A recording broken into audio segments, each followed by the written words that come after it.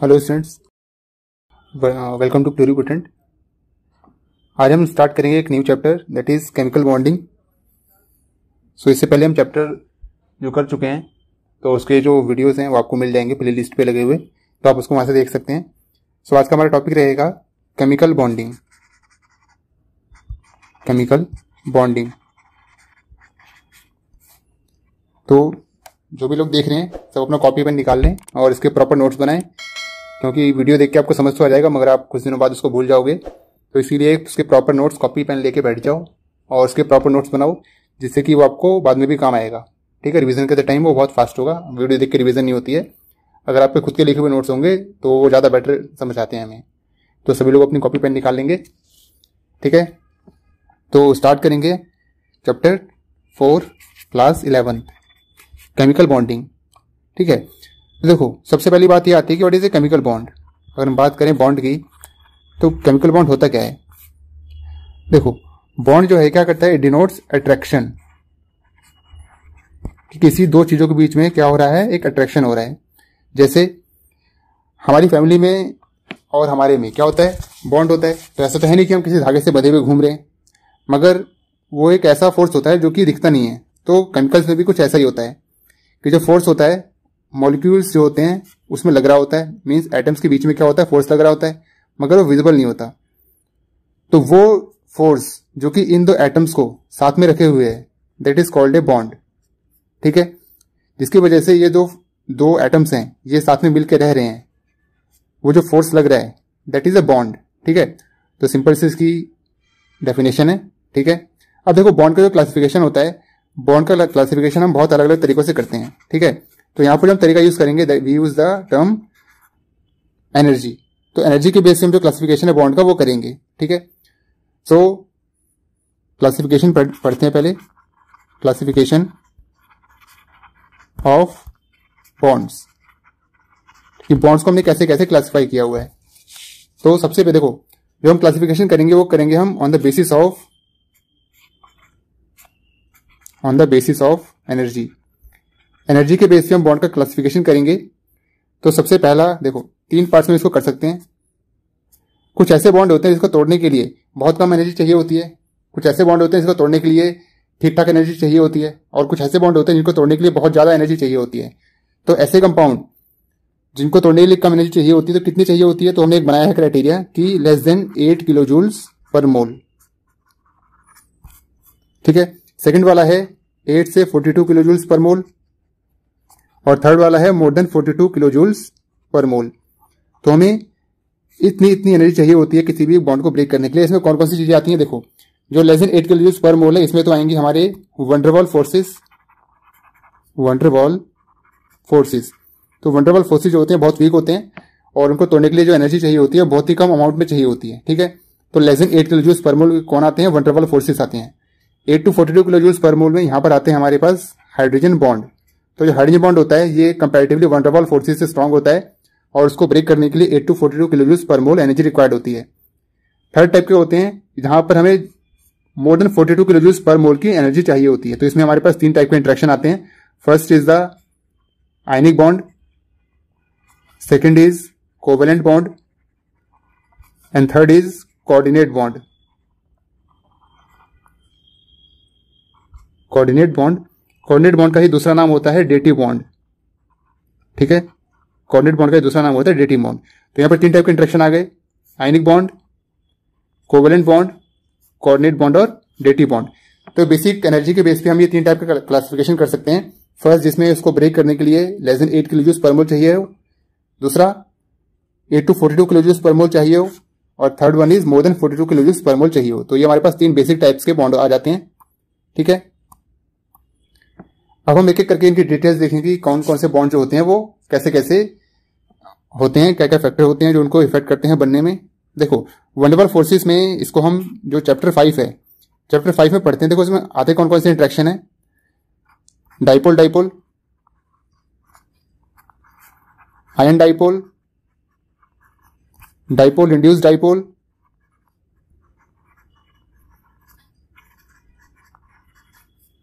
इसके अलावा London forces और लंडन फोर्सेस का ही दूसरा नाम होता है डिस्पर्जन फोर्सेस तो ये वंडरबल इंट्रैक्शन होते हैं। They are the weakest force ठीक है? तो इनको हम बाद में पढ़ेंगे। चैप्टर फाइव की स्टार्टिंग का ही ये टॉपिक है, ठीक है? तो यहाँ से हम जो टॉपिक स्टार्ट करेंगे, वो स्टार्ट करेंगे हम आयनिक बॉन्ड ठीक है?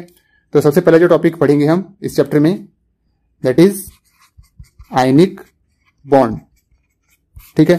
तो आयनिक बॉन्ड जो होता है टेंथ क्लास में इसके बाद में कुछ कुछ पढ़ा हुआ है, ये नाइन्थ क्लास में भी इसमें से कुछ कुछ आता है। तो सबसे पहली बात तो कि आयनिक बॉन्ड जो है, होता क्या है, ठीक है? देखो तो इसकी जो डेफिनेशन है, वो है the bond formed between formed between two atoms due to complete transfer of electron due to complete transfer of electron is called ionic bond तो जिसमें इलेक्ट्रॉन्स का कंप्लीट ट्रांसफ़र हो जाता है और उस समय जो बॉन्ड बनता है that is called a ionic bond covalent में क्या होता है? शेयरिंग होती है। आयनिक में क्या होता है? There is a complete transfer of electron between the atoms participating ठीक है? लाइक like एग्ज़ाम्पल अगर हम लें तो लाइक like सपोज़ करो मेरे पास एनएसीएल है। ठीक है? देखो एनएसीएल बना कैसे होगा? अगर मैं सोडियम को देखूँ तो सोडियम का नंबर कितना होता है? इलेवन कन्फिग्रेशन इसका अगर हम देखें तो one s two two s two two p six and three s one अगर हम बात करें क्लोरीन की तो chlorine is one s two two s two two p six three s two three p five देखो sodium में this is the nearest noble gas और chlorine में अगर वो एक इलेक्ट्रॉन एक्सेप्ट कर ले तो अट्ठारह पे पहुँच जाएगा, ठीक है? और सोडियम अगर एक इलेक्ट्रॉन छोड़ दे तो वो नोबल गैस के पास पहुँच जाएगा। तो सोडियम क्या करता है? सोडियम अपना एक इलेक्ट्रॉन रिलीज़ कर देता है, ठीक है? और क्या बना लेता है? सोडियम आयन बना लेता है। इसने क्या किया? अपना एक इलेक्ट्रॉन रिलीज़ कर दिया। क्लोरीन क्या करता है? इस इलेक्ट्रॉन को एक्सेप्ट कर लेता है और क्या बना लेता है? सीएल माइनस तो सोडियम ने इलेक्ट्रॉन छोड़ा और क्लोरीन ने इलेक्ट्रॉन पकड़ लिया। तो दोनों के बीच में जो इंट्रैक्शन लगा और उससे जो बॉन्ड क्रिएट हुआ that is called ionic bond ठीक है? तो देखो the bond form between two atoms due to complete transfer of electron इसमें क्या होता है? इलेक्ट्रॉन पूरा का पूरा ट्रांसफ़र हो जाता है। सोडियम क्या कर रहा है? अपना जो इलेक्ट्रॉन है, उसको ट्रांसफ़र कर दे रहा है क्लोरीन को, जिसकी वजह से क्या हो रहा है? बॉन्ड फॉर्मेशन हो रहा है, ठीक है? दूसरा एग्ज़ाम्पल देख लेते हैं लाइक सपोज़ करो मेरे पास एमपीसीएल है तो मैग्नीशियम जो है क्या करता है? दो इलेक्ट्रॉन छोड़ देता है, और कहा जाता है ये? एम प्लस की स्टेट में आ जाता है।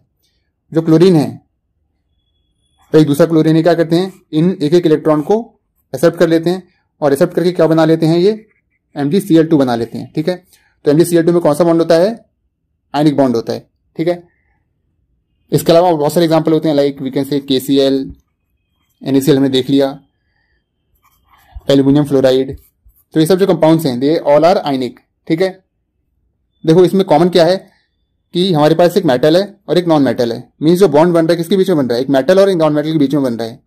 तो क्या हम ये बोल सकते हैं कि the bond formed between the bond formed between a metal and a non metal is ionic देखो जनरली ये बात सही होती है, मगर जनरली में सारी चीज़ें नहीं आती हैं। तो the bond form between a metal और नॉन मेटल एक मेटल और नॉन मेटल के बीच में जो बॉन्ड बनेगा, वो क्या होगा? आयनिक होगा। But this is not always true like हम एग्ज़ाम्पल लेते हैं and this is important one ठीक है? लाइक सपोज़ करो मेरे पास N H four C L है। देखो this is ammonium this is chlorine दोनों क्या हैं? They both are non metal they both are non metal ठीक है? अब देखो इनके बीच में जो बॉन्ड बना है बॉन्ड कैसे? आयनिक बॉन्ड है, जो एनएच है एनएच फोर प्लस तो इसने क्या कर रखा है? एक इलेक्ट्रॉन अपना छोड़ रखा है। क्लोरीन क्या करेगा? उस एक इलेक्ट्रॉन को एक्सेप्ट कर लेगा। इन दोनों के बीच में जो बॉन्ड बनेगा, वो क्या बनेगा? N H four C L तो इट इज़ एनिक कंपाउंड ठीक है? और दोनों कैसे कंपाउंड है जो पार्टिसिपेट कर रहे हैं इसमें? दोनों जो एटम्स हैं दे आर नॉन मेटल्स ठीक है? सो जो फोर सी एल है it behave as it behave as alkali metal alkali metal की तरह बिहेव करता है। हालाँकि इसमें जो दोनों पार्टिसिपेटिंग एलिमेंट्स हैं they both are non metal ठीक है? ऊपर वाले जो एग्जाम्पल्स थे, ये वाले एन और एम इसमें क्या देखा था हमने? कि जो कंपाउंड है, वो एक मेटल है, दूसरा नॉन मेटल है, ठीक है? तो हम जो डेफिनेशन है, उसको जनरलाइज करके बोलें तो वी कैन से कि the bond form between metal and non metal is called ionic bond ठीक है? But is not always completely true like in case of N H four C L so we can say the bond form between two atom due to complete transfer of electron तो transfer of electron जो है complete हो जाता है। It can be between the two metals और it can be between the two non metals ठीक है? तो इस तरह से जो आयनिक बॉन्ड है, वो बनता है, ठीक है? तो नेक्स्ट टॉपिक देख लेते हैं। हालाँकि ये टॉपिक जो है नाइन्थ क्लास में आप पढ़ते ही हो, ठीक है? तो मगर फिर भी जैसे कुछ बच्चों को इसमें डाउट रहता है तो वो टॉपिक भी देख लेते हैं कि how to determine the formula how to determine the formula of a ionic compound जो भी आयनिक कंपाउंड होते हैं, उनका फॉर्मूला जो है, वो कैसे बनाते हैं? देखो तो जो क्रिस क्रॉस रूल आपने नाइन्थ क्लास में सीखा होगा, जिन्होंने नहीं सीखा है, वो बच्चे देखने अभी। लाइक सोडियम है और क्लोरीन है, ठीक है? हमें जो आयंस हैं, जो पार्टिसिपेट कर रहे हैं बॉन्ड फॉर्मेशन उनकी वैलेंसी पता होनी चाहिए। जिन लोगों को आता है, वो लोग वीडियो स्किप करके आगे जा सकते हैं और आगे वाला पार्ट देख सकते हैं। तो जो सोडियम है, उसकी वैलेंसी एक होती है क्लोरीन की वैलेंसी भी एक होती है। ये सोडियम गया इसके पास और ये ए गया क्लोरीन के पास। तो यहाँ पर क्या हो गया? एन और सी सिंगल सिंगल है, ठीक है? लाइक मुझे बनाना है मैग्नीशियम और क्लोरीन। तो क्लोरीन की वैलेंसी कितनी होती है? वन, मैग्नीशियम की वैलेंसी कितनी होती है? ग्रुप टू से आता है। ग्रुप टू के सारे जो एलिमेंट्स होते हैं, उनकी वैलेंसी कितनी होती है? टू होती है। तो ये गया इसके पास और ये क्रॉस आके इसके पास हो गया, ठीक है? तो फॉर्मूला क्या बन गया इसका? एम इसके अलावा लाइक एल्यूमिनियम है मेरे पास और क्लोरीन है। एल्यूमिनियम की वैलेंसी कितनी होती है? थ्री क्लोरीन की वन एल्यूमिनियम इसके पास और ये इसके पास। तो क्या फॉर्मूला बन गया? A L C L three तो इस तरह से हम बॉन्ड फॉर्म बॉन्ड फॉर्म कर सकते हैं। लाइक मेरे पास कैल्शियम है और फॉस्फेट। तो इसकी जो वैलेंसी होती है वो थ्री होती है। कैल्शियम की वैलेंसी कितनी होती है? टू तो अगर मैं क्रिस क्रॉस रूल लगाऊँ इसमें तो ये टू गया फॉस्फरस के पास और ये थ्री गया कैल्शियम के पास। तो फॉर्मूला जो बनेगा इस केस में वो बनेगा C A three PO four और होल का ट्वाइस ठीक है?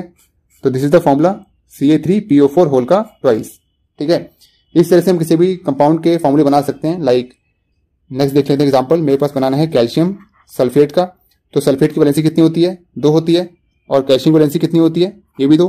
तो दो से दो कट जाएगा और फॉर्मूला सिंपली क्या आ जाएगा सी एस ओ फोर ठीक है? तो इस तरह से हम बहुत सारे जो कंपाउंड हैं, अगर हम उनके जो आयंस हैं आयंस की वैलेंसी पता है तो we can easily form the compounds ठीक है? कुछ एलिमेंट ऐसे होते हैं जिनकी जो ऑक्सीडेशन स्टेट होती है वेरिएबल होती है, ठीक है? तो जैसे जैसे आप आगे बढ़ते जाओगे, वैसे वैसे आपको पता चलता जाएगा, ठीक है? लाइक जो कुछ अनायंस होते हैं, देखो, जो अगर हम बात करें कटाइंस की तो कटाइंस में तो जनरली आपको जो वैलेंसी पता होती है, ठीक है? लाइक ग्रुप वन के जो एलिमेंट है, उनकी वैलेंसी कितनी होती है? प्लस वन ग्रुप टू के जो एलिमेंट है, उनकी वैलेंसी होती है प्लस टू जो थर्टीन ग्रुप है, इनकी वैलेंसी जनरली होती है थ्री फिफ्टीन ग्रुप में नॉन मेटल स्टार्ट हो जाते हैं फिफ्टीन सिक्सटीन और सेवनटीन फिफ्टीन ग्रुप में नाइट्रोजन फैमिली है वैलेंसी कितनी होती है इसकी? थ्री सिक्सटीन ग्रुप में ऑक्सीजन फैमिली वैलेंसी कितनी होती है? माइनस टू और हेलोजन की वैलेंसी कितनी होती है? दैट इज़ माइनस वन ठीक है? इसके बीच में जो आते हैं, वो आते हैं हमारे पास ट्रांजिशन एलिमेंट ट्रांजिशन एलिमेंट्स ठीक है? जैसे स्कैंडियम से लेकर और जो कॉपर वाली सीरीज़ है, वो और इसके नीचे पूरे एलिमेंट तो ये जो एलिमेंट होते हैं, इनकी जो ऑक्सीडेशन स्टेट होती है oxidation state is variable oxidation state is variable तो इनकी कोई एक कॉमन ऑक्सीडेशन स्टेट नहीं होती है, ठीक है?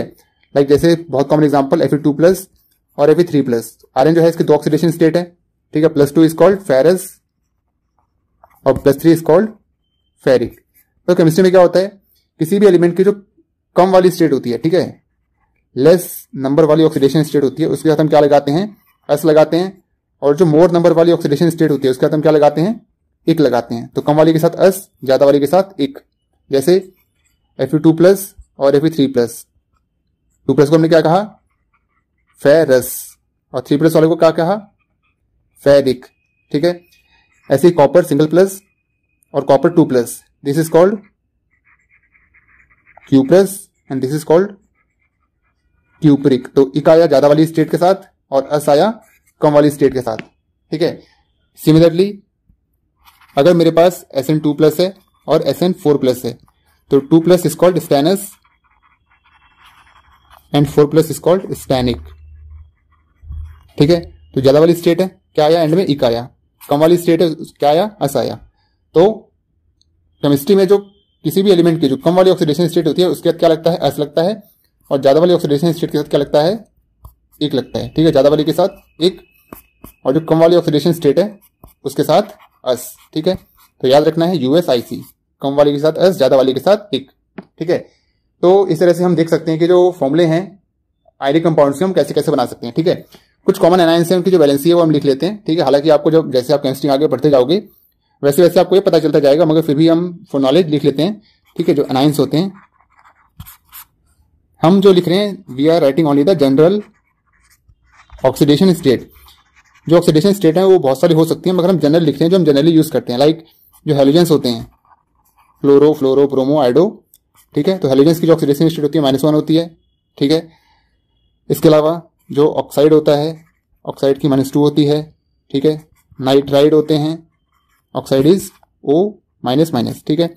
Nitride is N three minus three होती है इसकी ऑक्सीडेशन स्टेट ठीक है? इसके अलावा N three single minus this is called azide ठीक है? तो जैसे इसका फॉर्मुला बनाना हो सोडियम एजाइड तो सोडियम एजाइड क्या हो जाएगा? एन ए एन थ्री ठीक है? दिस इज़ इंपॉर्टेंट ध्यान रखना। एजाइड आयन जो एजाइड आयन का फॉर्मुला है वो क्या होता है? एन थ्री सिंगल माइनस ठीक है? इसके अलावा लाइक मेरे पास एसओ फोर है तो इट इज़ कॉल्ड सल्फेट ठीक है? माइनस कितना होता है? इसके ऊपर टू माइनस होता है। SO three two minus it is called sulphite ठीक है? S two O three two minus it is called thiosulphate NO2 it is nitride NO3 single minus it is called nitrate ठीक है? तो sulphate sulphide thiosulphate nitrite nitrate ठीक है? MNO four single minus it is called permanganate इसके अलावा MNO four two minus it is called manganate C R O four two minus C R two O seven two minus तो C R O four two minus it is called chromate C R two O seven two minus it is called dichromate C two O four two minus it is called oxalate C two O four two minus it is called oxalate ठीक है तो ये कुछ कुछ common common ions हैं। और बाकी जैसे जैसे आप केमिस्ट्री में आगे बढ़ते जाओगे, आपको बहुत सारे कंपाउंड्स मिलते जाएँगे और आप उनकी जो कॉमन ऑक्सीडेशन स्टेट है, वो आपको याद होती जाएँगे। ठीक है? तो दीज आर सब जनरल वंस ठीक है? सो ये हमारे पास आनिक बॉन्ड से रिलेटेड कुछ एक्स्ट्रा टॉपिक थे, ठीक है? Next topic is condition to form an ionic bond एक आनिक बॉन्ड को फॉर्म होने के लिए क्या क्या कंडीशन होनी चाहिए, ठीक है? देखो तो सबसे पहला,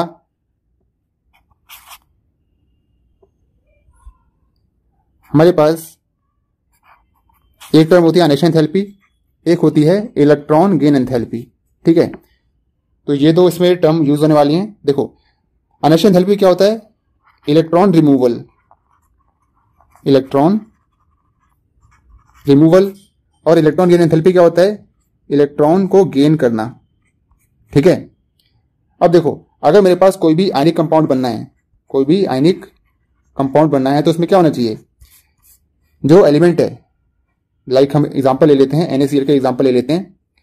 तो एन क्या करने वाला है? इलेक्ट्रॉन छोड़ने वाला है। क्लोरीन क्या करने वाला है? इलेक्ट्रॉन को एक्सेप्ट करने वाला है। तो सोडियम जितना आसानी से इलेक्ट्रॉन छोड़ देगा, उतना अच्छा है। और क्लोरीन जितना आसानी से इलेक्ट्रॉन ले लेगा, उतना अच्छा है। ठीक है? और इलेक्ट्रॉन छोड़ने को क्या कहते हैं? आनेशन थेल्पी और इलेक्ट्रॉन ले लेने को क्या कहते हैं? इलेक्ट्रॉन गेन एंथैल्पी ठीक है? दोबारा से देखो। सोडियम जो है वो क्या करने वाला है? Sodium is going to leave the electron तो सोडियम इलेक्ट्रॉन छोड़ने वाला है। तो अगर सोडियम इलेक्ट्रॉन छोड़ने वाला है। और अगर वो बहुत आसानी से इलेक्ट्रॉन छोड़ दे तो उतना ही आसानी से क्या हो जाएगा हमारे पास? आनिक बॉन्ड बन जाएगा। क्लोरीन क्या करने वाला है? क्लोरीन इलेक्ट्रॉन लेने वाला है। तो अगर क्लोरीन आसानी से इलेक्ट्रॉन ले लेता है तो ये हमारे लिए बहुत अच्छा होगा। मीन्स इलेक्ट्रॉन को छोड़ना अनेशन थेल्पी कैसी होनी चाहिए? कम होनी चाहिए। और इलेक्ट्रॉन को आसानी से ले लेना। मीन्स जो इलेक्ट्रॉन गेन एंथैल्पी की वैल्यू है, वो कैसी होनी चाहिए?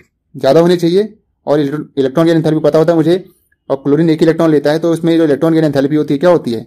इट इज़ हाईली नेगेटिव तो जो फ़र्स्ट इलेक्ट्रॉन गेन एंथैल्पी होती है नेगेटिव होती है तो इलेक्ट्रॉन गेन एंथैल्पी कैसी होनी चाहिए?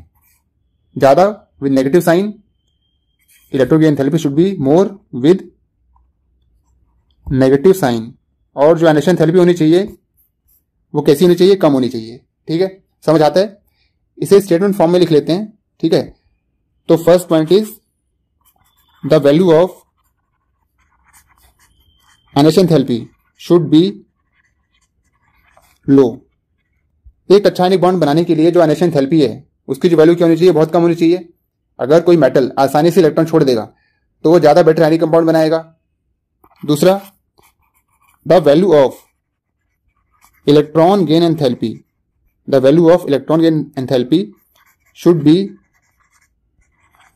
high with negative value should be high with negative value जो इलेक्ट्रॉन गेन एंथैल्पी है, जो उसकी वैल्यू होनी चाहिए, वो बहुत ज़्यादा होनी चाहिए, ठीक है? इसमें नेगेटिव में, ठीक है?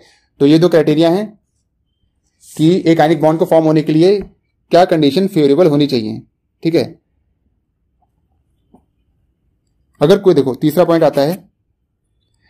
अगर मेटल है मेटल ने इलेक्ट्रॉन छोड़ दिया ठीक है? नॉन मेटल है। नॉन मेटल ने इलेक्ट्रॉन ले लिया। तो हमारे पास मेटल इलेक्ट्रॉन छोड़ देगा नॉन मेटल इलेक्ट्रॉन ले लेगा। अब ये दोनों मिलकर क्या बना लेंगे? एक कंपाउंड बना लेंगे। ठीक है? अब देखो, ये जो स्ट्रक्चर बना स्ट्रक्चर और वी कैन से जो लेटिस बना, ठीक है? अब देखो, ये लेटिस जो है, अगर लेटिस वीक रहा तो क्या होगा? कंपाउंड बना और वो आसानी से टूट सकता है। लेटिस मीन्स क्या होता है? लेटिस मीन्स है स्ट्रक्चर कोई भी, यानी कंपाउंडर्स का कुछ ना कुछ स्ट्रक्चर होता है। तो अगर स्ट्रक्चर जो है, वो बहुत ही स्ट्रांग है तो स्ट्रक्चर अगर स्ट्रांग है, इसका मतलब जो कंपाउंड बना है वो टूटा नहीं चाहेगा इसके अलावा अगर स्ट्रक्चर बहुत वीक है तो we can easily break the compound क्योंकि स्ट्रक्चर ही उसका वीक है। तो लेटिस जो है for a good and stable any compound lattice should be very stable जो लेटिस एंथैल्पी है, वो क्या होनी चाहिए? बहुत ज़्यादा स्टेबल होनी चाहिए, ठीक है? तो जो तीसरा पॉइंट हम लिख सकते हैं, वो है more the lattice enthalpy more stable the ionic compound is more stable the ionic compound is ठीक है तो ये इंपॉर्टेंट पॉइंट है। देखो, हमने यहाँ से तीन पॉइंट देख लिए। सबसे पहला, जो अनेशन थेरेपी है इट शुड बी लो इसके अलावा इलेक्ट्रॉन की एंथैल्पी जो है it should be high with negative value और थर्ड क्या है, जो लेटेस्ट एंथैल्पी है, वो कैसी होनी चाहिए? वो ज़्यादा होनी चाहिए। ठीक है तो ये तीन पॉइंट हमारे पास। किसी भी एक आयनिक कंपाउंड को अगर मुझे एक स्ट्रॉन्ग आयनिक कंपाउंड बनाना है तो उसके लिए अनेस एंथैल्पी कम इलेक्ट्रॉन की एंथैल्पी विद नेगेटिव वैल्यू ज़्यादा, और lattice should be more stable ठीक है? लेटेस्ट एंथैल्पी क्या होनी चाहिए? हाई होनी चाहिए। ठीक है? तो तीन क्राइटेरिया है। ठीक है? लेटेस्ट इंथेल्पी को थोड़ा डिटेल में देखते हैं। हालाँकि जो टॉपिक है, ये जो चैप्टर आप पढ़ोगे थर्मोडाइनमिक्स चैप्टर नंबर सिक्स तो उसमें आता है, मगर यहाँ पर हम, क्योंकि आयनिक का टॉपिक आया है तो will see lattice enthalpy in quite detail ठीक है? तो देखो, सबसे पहले लेटेस्ट इंथेल्पी होता क्या है? ठीक है? इसी में हम बॉन्ड नेबर साइकिल भी समझ लेंगे कि बॉन्ड नेबर साइकिल जो है, वो कैसे कैसे प्रोसीड करते हैं आगे। तो सबसे पहले जो हम डालते हैं सब टॉपिक इसको हम करेंगे आगे एक्सप्लेन ठीक है? That is lattice enthalpy so lattice enthalpy को कैसे डिफाइन करेंगे? It is defined as the amount of energy released when one mole of ionic ionic lattice is form from its gaseous constituent ion ठीक है? जब suppose करो मेरे पास Na plus gas form में है, Cl माइनस गैस फॉर्म में है। तो ये दोनों मिलकर क्या बनाएँगे? NaCl बनाएँगे और वो कैसे रहेगा गैस में? मगर देखो, घर में हम जो सॉल्ट यूज़ करते हैं, क्या वो गैस में आता है हमारे पास? बिल्कुल नहीं, वो तो सॉलिड होता है। मगर देखो, यहाँ पर जो एन प्लस ये तो गैस में होता है सीएल माइनस ये भी गैस में होता है। तो अगर दोनों चीज़ें गैस में हैं तो जो एन है बना, वो भी गैस में बनेगा। मगर जो हमारे पास आता है नमक, वो कैसा होता है? सॉलिड होता है। मीन्स इसका हो क्या रहा है? जो एनएसीएल गैस है, ये किसमें कन्वर्ट हो रहा है? एनएसीएल सॉलिड में कन्वर्ट हो रहा है। तो एनएसीएल गैस को एनएसीएल सॉलिड में कन्वर्ट करने के लिए जो एनर्जी रिक्वायर्ड है, वही क्या है? दैट इज़ लेटिस एनर्जी और लेटिस एंथैल्पी लेटिस मतलब क्या? स्ट्रक्चर बनना। एनएसएल गैस है। तो गैस का कोई स्ट्रक्चर होगा? नहीं, गैस फॉर्म में उठी होगी। कोई इसका स्ट्रक्चर ही नहीं होगा। It does not have a particular structure मगर जब वो सॉलिड फॉर्म में आ जाएगा तो उसका कुछ स्ट्रक्चर बन जाएगा। लाइक सपोज़ और वी कैन से इस तरह से देखो। ये मेरे पास हम एक कॉमन से एक लेटिस बना लेते हैं।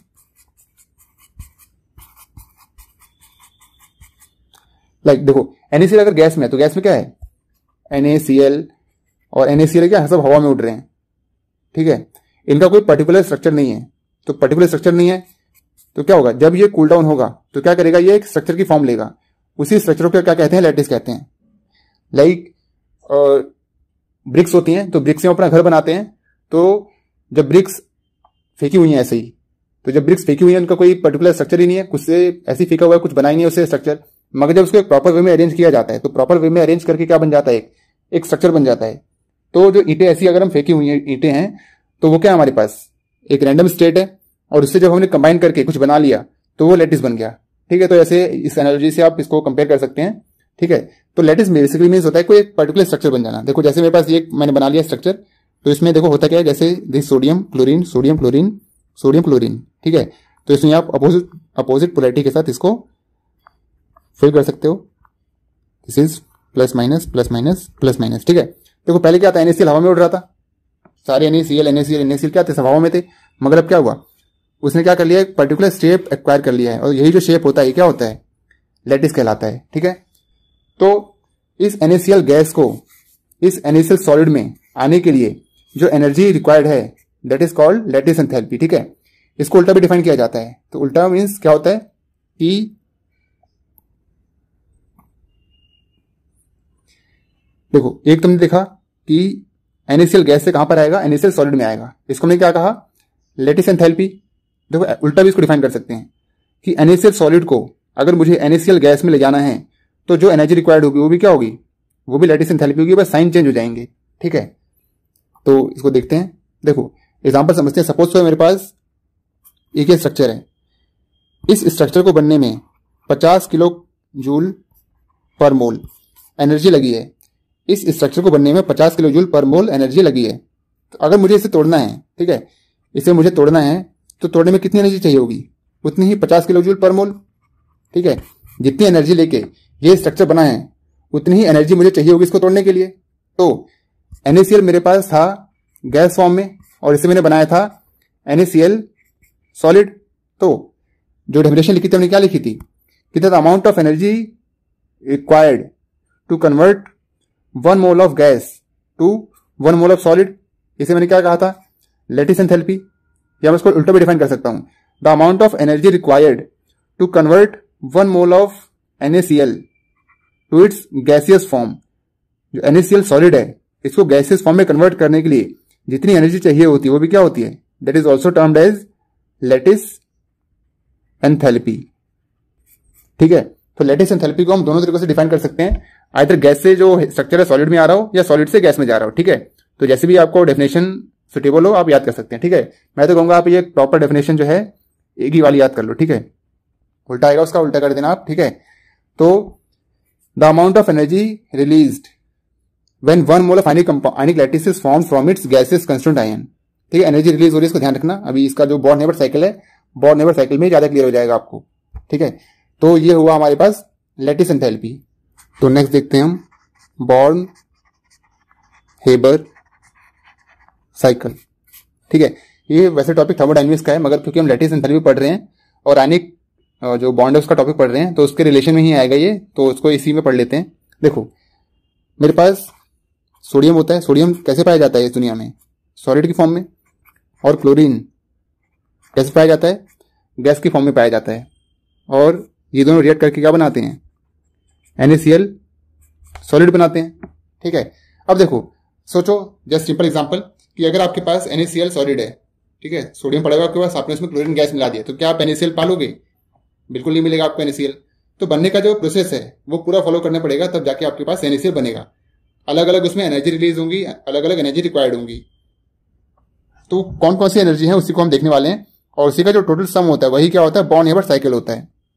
तो यहाँ पर एनएसीएल क्या हो रहा है? एनएसीएल फॉर्म हो रहा है। तो डेल्टा एफ़ क्या लगाएँगे हम? फॉर्मेशन तो फॉर्मेशन ऑफ़ एनएसीएल है तो डेल्टा एच एफ़ फॉर्मेशन के लिए। देखो तो सबसे पहले स्टेप इसमें होगा क्या? कि जो सोडियम सॉलिड है, ये किसमें कन्वर्ट होगा? सोडियम गैस में कन्वर्ट होगा। तो जब सोडियम सॉलिड गैस में कन्वर्ट हो रहा है तो यहाँ पर जो एंथैल्पी इन्वॉल्व होगी that is delta H sublimation ठीक है? कोई भी अगर सॉलिड वो डायरेक्टली गैस में कन्वर्ट हो रहा है without going to liquid state that is called sublimation तो यहाँ पर जो सोडियम सॉलिड है, कहाँ जा रहा है? सोडियम गैस में जा रहा है तो यहाँ पर क्या लगेगा? एंथैल्पी ऑफ़ सब्लिमेशन लगेगा। फिर जो सोडियम गैस है, क्या करेगा? ये कन्वर्ट होगा सोडियम आयन में। तो यहाँ पर क्या लगा? आयनाइजेशन इंथैल्पी लगा। ठीक है? अब सोडियम जो आ चुका है, ये सोडियम आयन गैसेस फॉर्म में आ चुका है। ठीक है? अब देखो क्लोरीन जो है बैलेंस कर लो इसे, यहाँ पर हाफ़ लगा दो। क्लोरीन जो है, पहले क्या होगा तो क्लोरीन में क्या है, दो बॉन्ड है सीएल और सीएल इसके बीच में बॉन्ड बन रखा है तो मुझे पहले क्या करना पड़ेगा, मुझे देखो, यहाँ पर एक ही क्लोरीन चाहिए तो मुझे क्या करना पड़ेगा, पहले इस बॉन्ड को ब्रेक करना पड़ेगा। तो यहाँ पर सबसे पहले जो एंथैल्पी लगेगी डेल्टा एच कौन सी लगेगी? Bond dissociation enthalpy B D E ठीक है? बॉन्ड डिसोसिएशन एंथैल्पी और ये किसमें कन्वर्ट हो जाएगा? सीएल में कन्वर्ट हो जाएगा, ठीक है? और क्योंकि यहाँ पर दो क्लोरीन थे। हाफ़ लगा हुआ था यहाँ पर तो यहाँ पर किससे मल्टीप्लाई कर दो इसको? हाफ़ से कर दो, ठीक है? तो we can easily write it as half bond dissociation enthalpy ठीक है? अब मेरे पास क्या आ चुका है? सिंगल क्लोरीन का एटम आ चुका है, जो कि गैस फॉर्म में है। अब ये जो क्लोरीन का एटम है, क्या करेगा? ये सीएल माइनस में कन्वर्ट होगा। और सीएल माइनस में कन्वर्ट होगा तो इसने क्या किया? इलेक्ट्रॉन गेन किया है। तो यहाँ पर कौन सी एनर्जी लगेगी? इलेक्ट्रॉन गेन एंथैल्पी लगेगी, ठीक है? इसने इलेक्ट्रॉन लेके और कहा चला गया ये? सीएल माइनस गैस में चला गया। अब देखो एन ए गैस की फॉर्म में है सीएल गैस की फॉर्म में है। दोनों मिलेंगे तो क्या बना लेंगे? N A C L gas बना लेंगे। जब NaCl गैस बन गया तो क्या किसका स्ट्रक्चर होगा? कुछ स्ट्रक्चर नहीं होगा गैस फॉर्म में है गैस फॉर्म में स्ट्रक्चर होता ही नहीं है। अब क्या होगा, ये कन्वर्ट होगा किसमें? NaCl सॉलिड में। तो जब NaCl सॉलिड कोई भी सॉलिड बनता है तो सॉलिड का कुछ ना कुछ स्ट्रक्चर होता है, उसी स्ट्रक्चर को कहते हैं लेटिस तो NaCl जो गैस है कन्वर्ट होगा NaCl सॉलिड में। तो यहाँ पर जो एनर्जी लगेगी that is called lattice enthalpy ठीक है? तो देखो NaCl के फॉर्म होने में NaCl के फॉर्म होने में कौन कौन सी एनर्जी लगी? सबसे पहला लगा डेल्टा एच सब्लिमेशन ठीक है?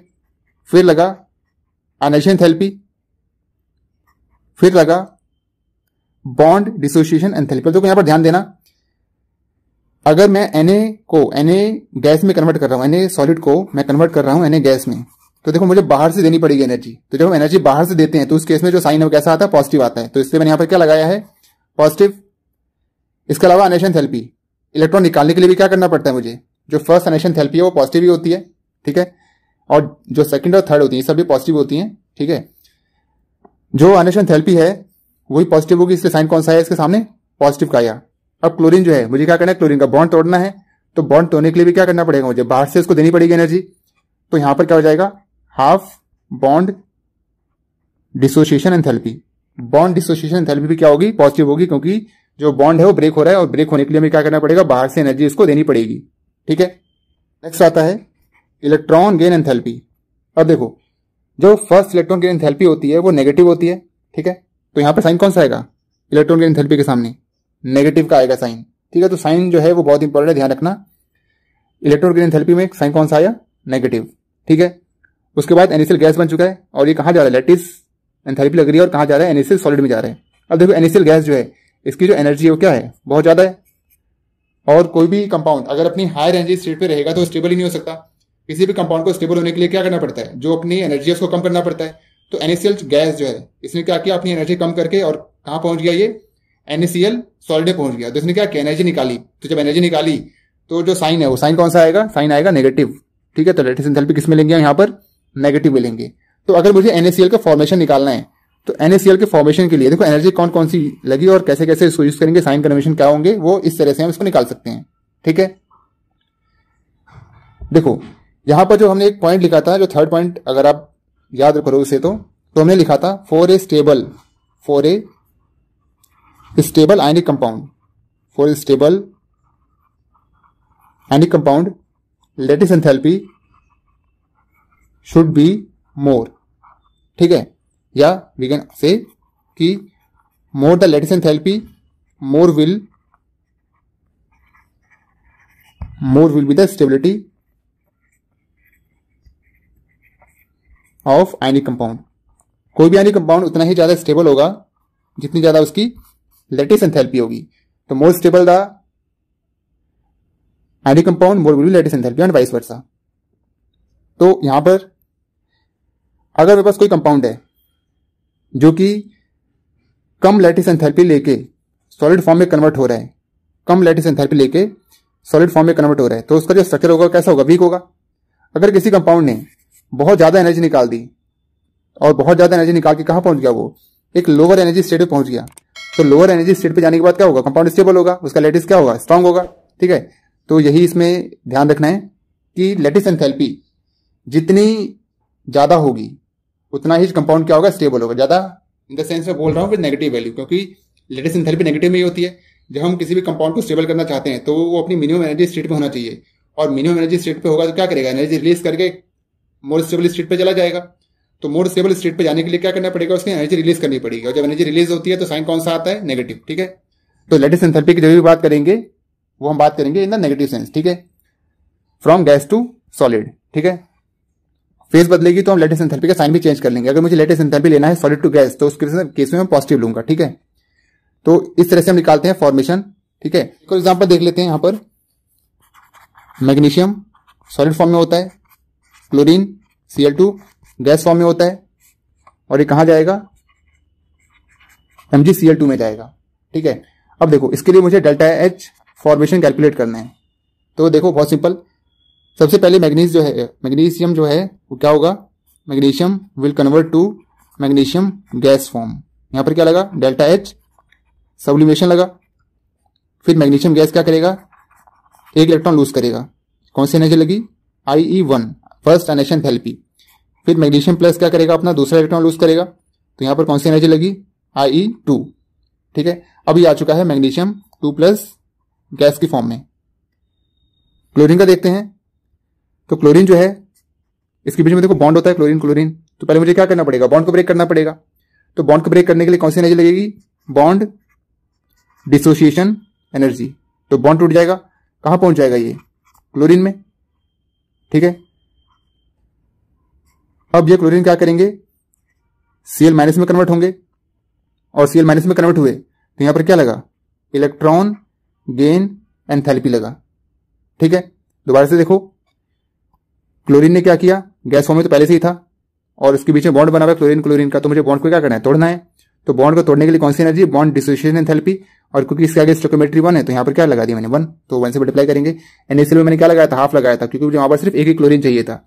यहाँ पर मुझे दो क्लोरीन चाहिए, इसलिए मैंने दोनों ले लिए हैं साथ में, ठीक है? तो बॉन्ड डिसोसिएशन एंथैल्पी लगा और बॉन्ड डिसोसिएशन एंथैल्पी लग के कहाँ पहुँच गया ये? क्लोरीन एटम फॉर्म में पहुँच गया, ठीक है? फिर इस क्लोरीन एटम क्या करेगा, ये क्लोरीन एटम इलेक्ट्रॉन गेन करेगा, और गेन करके कहाँ पहुँच गया ये? क्लोरीन अनायन में पहुँच गया। अब देखो, मेरे पास दोनों फॉर्म जो है, कहाँ चुकी हैं? गैस के फॉर्म में आ चुके हैं एमडी टू प्लस और सीएल माइनस दोनों कंबाइन करेंगे। कंबाइन करके क्या फॉर्म कर लेंगे ये? एम गैस फॉर्म कर लेंगे। और एम गैस कहाँ जाएगा? एम सॉलिड में। तो कौन सी एनर्जी लगेगी यहाँ पर? लेटेस्ट एंथैल्पी लगेगी। तो इस तरह से हम कैलकुलेट कर सकते हैं कि लेटेस्ट एंथैल्पी जो है वो कैसे निकाली जाती है, ठीक है? अगर मैं इसका पूरा फॉर्मेशन लिखूं वो फॉर्मेशन कैसे कैसे आएगा? डेल्टा एच एफ़ तो क्या क्या लगा यहाँ पर?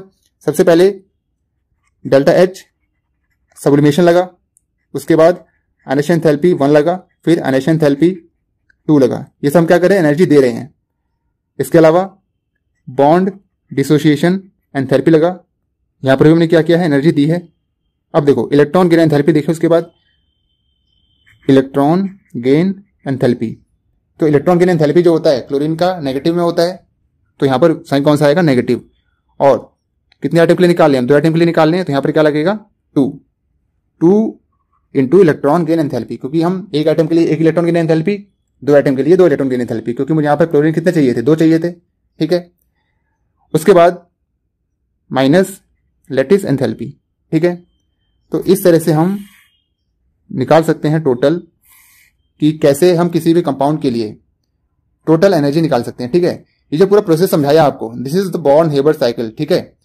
यहाँ पर क्या होता है, आपको जो वैल्यूज़ हैं डेल्टा सब्लिमेशन अनेशन थेल्पी की वैल्यू बॉन्ड डिशन थेल्पी की वैल्यू इलेक्ट्रॉन एंथैल्पी की वैल्यू लेटेस्ट एंथैल्पी की वैल्यू और एंथैल्पी ऑफ़ फॉर्मेशन इनमें से आपको कोई भी एक वैल्यू मिसिंग रहेगी, आपको उसको कैलकुलेट करना होगा। सो so, तरीका यही रहता है ठीक है? तो देखो एक बार दोबारा से देख लेते हैं। एनएसीएल का बॉन्ड नेबर साइकिल इस तरह से था। पहले एनएसीएल को सब्लिमेट किया एनएसीएल को एनाइज किया क्लोरीन को पहले बॉन्ड तोड़ा उसका फिर उसमें इलेक्ट्रॉन गेन कराया और बाद में क्या हुआ? लेटेस्ट बन गया उसका। तो डाटा एच कैसे निकाला था उसका। Sublimation plus ionisation enthalpy plus bond dissociation enthalpy electron gain enthalpy negative में होता है इसलिए नेगेटिव आया हुआ है। लेटेस्ट थेरेपी नेगेटिव होता है इसलिए नेगेटिव आया हुआ है। इसके अलावा अगर मैग्नीशियम क्लोराइड का देखें तो मैग्नीशियम क्लोराइड में क्या है? एम टू प्लस में होता है। तो इसमें मुझे आई वन और आई टू दो बार लगाना पड़ेगा। अनेशन थेल्पी इसके अलावा क्लोरीन जो है यहाँ पर मुझे दो चाहिए। तो इसीलिए मैंने दो बार इलेक्ट्रॉन गेन एंथैल्पी लगाए हुए हैं। ठीक है कैलकुलेट कर लेंगे। तो सब्लिमेशन प्लस दोनों ionisation enthalpy plus bond dissociation enthalpy इसके अलावा दो बार इलेक्ट्रॉन गेन एंथैल्पी और एक बार लेटिस एंथैल्पी ठीक है, इस तरह से हम कैलकुलेट कर सकते हैं bond dissociation enthalpy of any any compound और वी कैन से कि the amount of energy released और लेटेस्ट एंथैल्पी और the formation enthalpy of formation for a any compound ठीक है तो ये बॉन्ड नेबर साइकिल होता है, ठीक है? तो ये जो टॉपिक पढ़ा हमने तो देखो फाइनली समराइज करते हुए जो हम पढ़ रहे थे टॉपिक ठीक है? वो क्या पढ़ रहे थे? कि एक स्टेबल एनी कंपाउंड बनने के लिए कंडीशन क्या क्या होनी चाहिए? और एक अच्छा एनी कंपाउंड कब बन जाएगा? तो तीन कंडीशन देखी थी हमने इसके लिए पहला, जो एनेशन थेरेपी होनी चाहिए, वो क्या होनी चाहिए? कम होनी चाहिए तो अच्छा नहीं कंपाउंड बनेगा। दूसरा, जो इलेक्ट्रॉन गेन एंथैल्पी होनी चाहिए, वो कैसी होनी चाहिए? High with negative value electron आसानी से एक्सेप्ट कर लेना चाहिए एटम को। इसके अलावा थर्ड जो लेडिस एंथैल्पी होनी चाहिए वो कैसी होनी चाहिए? हाई तो अगर ये तीन क्राइटेरिया सेटिस्फाई होते हैं तो जो कंपाउंड है कैसा होगा, एक बहुत अच्छा स्टेबल आइनिक कंपाउंड बनेगा। ठीक है? नेक्स्ट टॉपिक देखते हैं हम। Factors on which lattice enthalpy depends वो ऐसे कौन कौन से फैक्टर्स हैं जिनके ऊपर जो लेटिस एंथैल्पी है वो डिपेंड करती है? लेटिस एंथैल्पी अभी हमने समझ लिया कि लेटिस एंथैल्पी क्या होती है। तो अभी देखेंगे हम कि वो कौन कौन से फैक्टर्स हैं, जिनके ऊपर जो लेटिस एंथैल्पी है वो डिपेंड करती है, ठीक है? तो डेफिनेशन तो हमने देखी ली थी कि लेटिस एंथैल्पी क्या होती है। अब देखेंगे फैक्टर्स कौन कौन से इफ़ेक्ट करते हैं। तो first one is more the charge on cation more will be lattice enthalpy cation के ऊपर जितना ज़्यादा चार्ज होगा लेटिस एंथैल्पी क्या होगी? उतनी ही ज़्यादा होगी, ठीक है? मींस जो चार्ज है on cation it is directly proportional to the lattice enthalpy जितना ज़्यादा चार्ज कटाइन पे, उतनी ही ज़्यादा लेटिस एंथैल्पी क्योंकि अगर कोई छोटा कंपाउंड है, छोटा कटाइन है, और एक कोई बड़ा कटाइन है तो आपको सोचो कि कॉम्पैक्ट स्ट्रक्चर कौन फॉर्म कर सकता है? बड़ा वाला जब कंपाउंड कटाइन है, वो स्ट्रक्चर फॉर्म करने आएगा तो उसके बीच में जो गैप्स हैं गैप क्या होंगे? बहुत ज़्यादा ज़्यादा गैप होंगे। जबकि जो छोटा है, उसके बीच में जो गैप्स होंगे, क्या होंगे? बहुत कम कम गैप होंगे। तो एक जो छोटा स्ट्रक्चर है और वी कैन से छोटा कटायन वो क्या कर सक, क्या कर सकता है? एक बहुत ही स्टेबल स्ट्रक्चर बना सकता है। और जो जितना बड़ा होगा उसके बीच में गैप्स होंगे बहुत ज़्यादा होंगे लेटिस क्या होगा बहुत बेकार बनेगा। ठीक है? तो first one is more the positive charge more will be lattice enthalpy ठीक है? More the size of ion less will be the force of attraction and hence less will be less will be lattice enthalpy, ठीक है? तो यहाँ पर size और lattice enthalpy में comparison करें तो कैसे वेरी करता है? इनवर्सली अगर साइज़ बहुत ज़्यादा है, देखो साइज़ अगर बहुत बड़ा है तो अगर साइज़ बड़ा है तो लेटिस क्या होगा? बहुत बेकार बनेगा। तो लेटिस एंथैल्पी क्या होगी? कम, ठीक है? जो हमें कटाइन वाला पढ़ा जैसे इसका उल्टा है, ठीक है? देखो कटाइन में चार्ज जितना ज़्यादा होगा more the charge more the Z effective और जितना ज़्यादा जेड इफ़ेक्टिव होगा साइज़ उतना ज़्यादा छोटा हो जाएगा। और साइज़ छोटा तो लेटेस्ट एंथैल्पी क्या होगी? ज़्यादा। ठीक है? दोबारा से बोल रहा हूँ। अगर चार्ज ज़्यादा होगा तो जेड इफ़ेक्टिव वैल्यू ज़्यादा, और जेड इफ़ेक्टिव ज़्यादा तो साइज़ छोटा, और साइज़ छोटा तो लेटेस्ट एंथैल्पी मोर उसका उल्टा क्या है? ये वाला। अगर साइज़ बड़ा होगा तो न्यूक्लियस से डिस्टेंस क्या हो जाएगा? बढ़ जाएगा, खींच नहीं पाएगा लेटिस स्ट्रांग हो ही नहीं पाएगा तो लेटिस कैसा होगा? वीक होगा। ठीक है? तो अगर मैं एक जगह इसको लिख लू दोनों को कि जो लेटिस एंथैल्पी है, ये किसके ऊपर डिपेंड करती है? Directly proportional to the charge and inversely proportional to the size तो ये बहुत इंपॉर्टेंट है, दोनों बातें ध्यान रखनी है। एमसीक्यू में क्वेश्चन आता है। लाइक इससे रिलेटेड एक क्वेश्चन देख लेते हैं कि मेरे पास ये मेटल फ्लोराइड्स हैं। ठीक है? तो मेटल फ्लोराइड्स में बताना है मुझे कि इसमें जो हाईएस्ट लेटेस्ट एंथैल्पी है, वो किसकी होगी? ठीक है?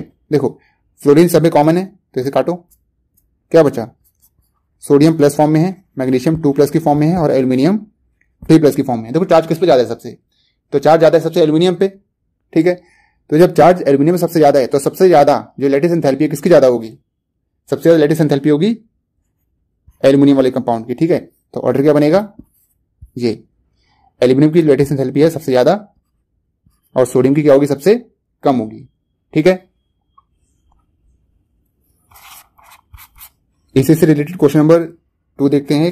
लाइक सपोज़ करो मेरे पास ऑक्साइड्स हैं। सेम वही ऑक्सीजन है। काटो इसे, हटाओ। तो सोडियम प्लस प्लस वन की फॉर्म में magnesium two plus aluminium three plus more the charge more will be lattice enthalpy तो किसकी ज़्यादा? एल्यूमिनियम की ज़्यादा सोडियम की कम। ठीक है तो देखो ये इन दो क्वेश्चन में कैसे मूव किया हमने? इन दो क्वेश्चन में मूव किया हमने पीरियड में। तो पीरियड में जाते हुए हम क्या देख रहे हैं? चार्ज देख रहे हैं। देखो तो पीरियड में जाते हुए साइज़ भी क्या होता है? कम होता है। मगर यहाँ पर हम चार्ज जो है, वो उसको देखेंगे, क्योंकि charge is more dominating as compare to size ठीक है? तो चार्ज साइज़ में से अगर हमें पता लगाना रहे तो चार्ज साइज़ में से हम हमेशा किसको कंसिडर करेंगे? विल कंसिडर द चार्ज ठीक है? थर्ड क्वेश्चन देख लेते हैं। लाइक मेरे पास लिथियम ऑक्साइड है और लिथियम नाइट्राइड है, ठीक है? अब देखो लिथियम इसको कॉमन है लिथियम को हटाओ। तो मेरे पास क्या बचा? ऑक्साइड है और नाइट्राइड है। अब देखो, इसमें जो चार्ज है, वो ज़्यादा है मीन्स इसका जो साइज़ है, क्या होगा? बड़ा होगा। और लेटिस एंथैल्पी और साइज़ का कैसा रिलेशन देखा था हमने? इनवर्स देखा था मीन्स अगर साइज़ बड़ा तो लेटिस बेकार और लेटिस बेकार तो इस केस में एंथैल्पी ज़्यादा होगा लिथियम ऑक्साइड का एज कंपेयर टू नाइट्राइड। ठीक है?